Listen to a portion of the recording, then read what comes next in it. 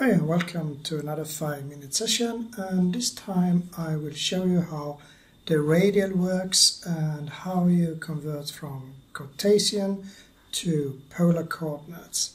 So as a reminder I just go through something that I showed a while ago where we used the texture and the gradient texture and if I use the object here and then you see I have radial here we got this result. I didn't explain that on the last five minutes when it comes to the gradient, so I will do it here. This is what you call polar coordinates uh, calculation and we can take a look at polar coordinate and Cartesian so you know what I'm talking about. So if we look at this page here, it's a good page, describes how it works. Then we have Cartesian coordinates. Cartesian coordinates are like when you're in the 2D plane explains that this little point here is x amounts in that direction and y amounts in this direction. So in this case it's 12x and y 5 and then you get this point here. That is how you explain using Cartesian coordinates where you have a point. With polar coordinates you instead use an angle and a length. So you can say that this length of the line is 13 with angle of 22.6 and then you have this coordinate.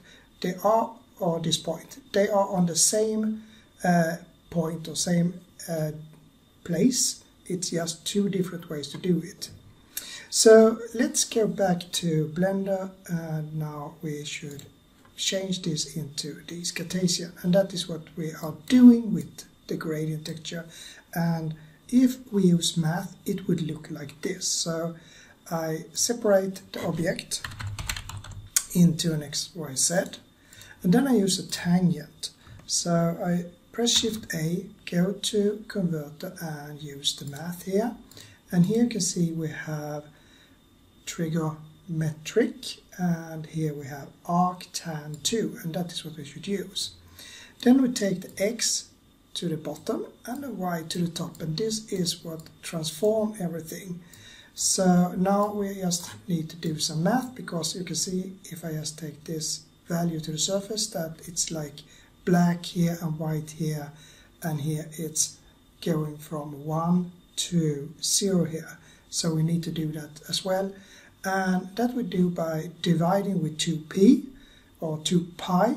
So um, I just use Shift A, converter and math again, and I divide like this. And I can use this little uh, sign here because that is a driver in Blender and just write pi uh, multiplied by 2 and then I get the value here.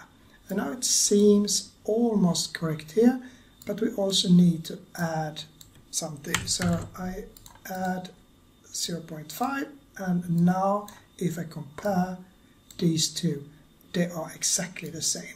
So this is the math be behind radial. This is how you calculate from x and y coordinates into an angle here. So you have done everything in radian, so then you have from 0 to 1 here. So what should you do with this? Well, every time you do something that is more or less round like flowers or cogs or the sun or the clock then this is really good to use. And I can do a very quick example. So if we can we can take away all this and then just use a length. So converter vector math and I put that in here and I use a length. And I take this and I just subtract that with the length like this and then you can see that now we get something that is round. We also add a multiply here. Let's say that we add 5 for instance. And then we use a fraction or in this case we can use the ping pong of 0.5 or something like that. Then you see we get these flowers here. And then you can play with that and do a lot of stuff. So you can put in a compare or whatever. So I press Shift A, converter uh, math again and you can see it grows or it shrinks you can do a lot of stuff you can use the power if you want to like this to make it more round or whatever you can do with that here would be best result. So you can see here it gets more round and so on.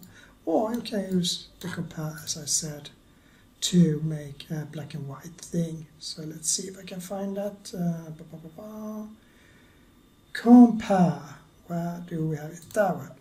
And then I just take this down and I can take this like a small thing and go up and you can get something like this. And then you can change the amount of leaves, like six or eight or whatever, to make this. So this is just a, a quick example. And the five minutes has now gone and now you have seen uh, what's behind the gradient, radial, how you calculate it and how to use length to uh, put everything together. So uh, that was about radial, Cartesian, polar and see you tomorrow.